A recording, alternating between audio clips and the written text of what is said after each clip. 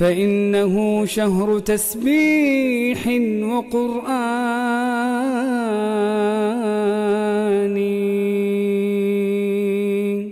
وأحسن منها قول ربي جل وعلا.